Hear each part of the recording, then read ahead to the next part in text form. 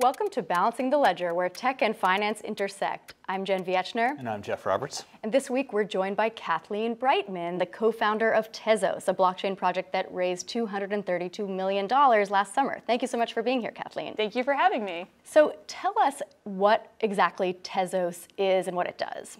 So Tezos is a smart contract in many ways akin to Ethereum.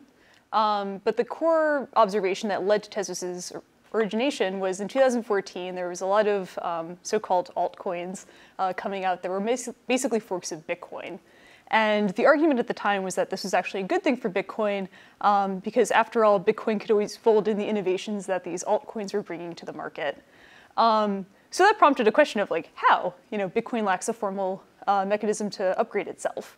And so Tezos kind of hoped to solve this notion of um, how to upgrade a blockchain by creating a formal governance process around uh, figuring out which, which version of Tezos was the canonical one. Would it be right to say it's Tezos is sort of like Bitcoin and Ethereum, but with like political science and game theory baked into the protocol? Um, yeah, I would, I would say that's like a, a, a fair characterization. And I think that um, you know, to be honest, like there is sort of a governance mechanism in Bitcoin, in Ethereum. It's just not as explicit as it is in Tezos. So drawing that out and forcing it to be in a sort of town square instead of through um, more implicit means is, is kind of what we're trying to do. Yeah, the town square means of governance is what, you know, part of what makes Tezos so unique. So how does exactly does that work and what's different about it than the way Bitcoin's governance works, for example? Yeah, so um, I think the tagline for Tezos on the website is a digital commonwealth. And I like that because it's a very literal, literal way of thinking about it. If you think of a blockchain as a shared resource among many different actors, um, a commonwealth is basically how do you maintain it.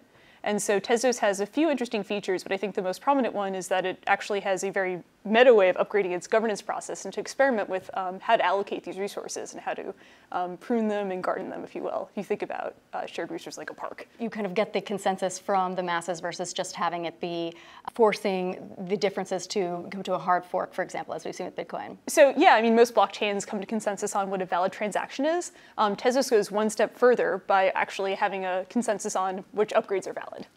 Um, I know there was some concern a few months back about centralization and that there's sort of maybe a couple cabals that would have had an outsized power on the network. And I know yeah. this is a concern with all blockchains, but it sounds like you're sort of uh, addressing that or overcoming it. Yeah, well, I think the distribution of, um, of I guess, token holders in the network is remarkably even even out in the. I think the average contribution to the Tezos fundraiser was around thousand dollars to give you an idea.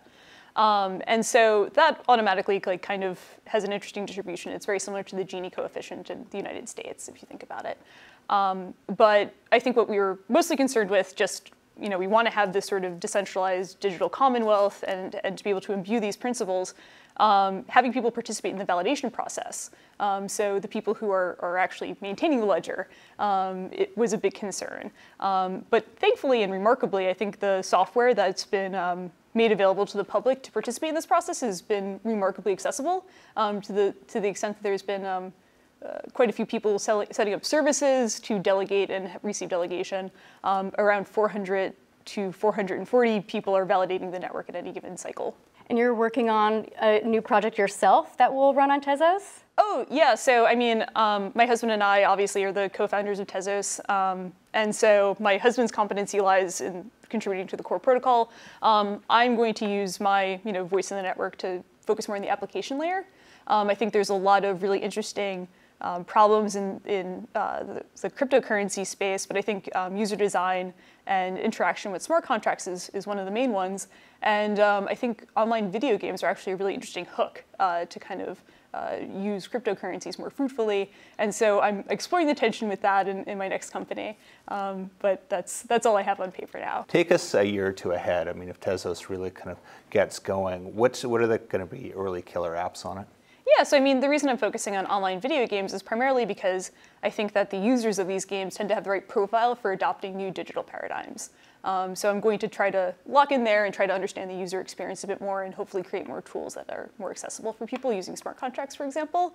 Um, but ultimately, I think that these things are good for making transactions with people you don't necessarily know. Um, and so financial use cases obviously come to mind. Um, I think one application that I'd love to see in Ethereum or Tezos or whatever um, would be something like weather insurance, um, peer-to-peer weather insurance. Um, because you can use an outside oracle, but you, by and large, you can kind of um, model out the uh, information, and you can imbue that in a smart contract really easily. A lot of the hype over the past few months has centered around whether Wall Street institutions are actually going to trade cryptocurrencies. Uh, and there was some news that really hurt the market this week with Goldman Sachs saying that they're not going to be opening a Bitcoin trading desk after all. What do you make of that news? Oh, well, that's just like the latest news in a series of, um, you know, kind of the Bitcoin ETF, for example, was rejected um, a few weeks ago as well. So it's really been a, a bad uh, series of uh, ser series of events. Um, yeah, I'm, I'm, frankly I was more surprised that Goldman was considering doing a, a, a Bitcoin trading desk, and I'm, I'm, fairly not surprised that that didn't go through. Um, as far as I know, um, there's still a, paucity of sophisticated actors who understand Bitcoin really well in these in these Wall Street firms, um, and so I'm not surprised lacking you know any good custody solution, for example, there wouldn't be a trading desk. Um, so there's a lot of baby steps for these institutions to really organize themselves and take the operational consideration seriously uh, to, to have these digital bearer assets uh, around floating around the bank. So it's uh, more of what I expected the early days of Tezos was dominated by these weird headlines of this sort of like death match between you and your husband and this evil foundation head. Yeah. That was summarized in that uh, cover story in Wired. Part of the controversy, you'd raised hundreds of millions of dollars, uh, you know, but but people there were questions around whether Tezos was actually going to launch. Now that it's launched, I mean, it sounds like you still have kind of enormous resources to play with. What can you do with those? So most of the money is still in Bitcoin, but it's still like a substantial amount of money that can be pledged towards Tezos projects.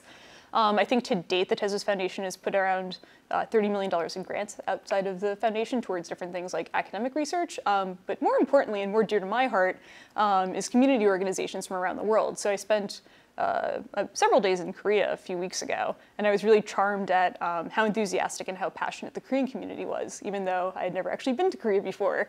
Um, so it's very humbling and it's very endearing to see this type of um, grassroots organic uh, fanfare for, for Tezos sort of take root and uh, receive funding from an organization that was meant to endow this sort of thing. Mm-hmm. I think that's to the sort of credit of Tezos that you guys did kind of put your head down and finish this because there's a lot of skeptics, including me once upon a time.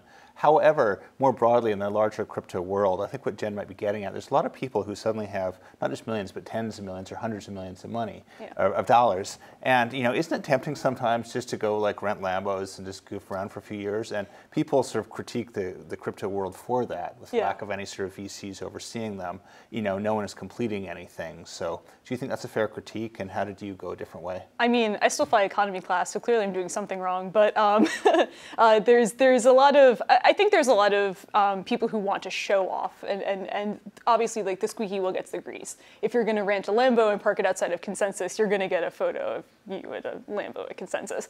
I think that there's a certain degree of people who don't have um, you know, a lot of a, a lot of shame, uh, you know, going out and doing very ostentatious things that they I would find in poor taste. Um, I think that just in general, that's kind of always been the case with like early ecosystems. You always get like these sort of bad boys and, and people who pe people want to hold up as a pedestal of what's wrong with an industry.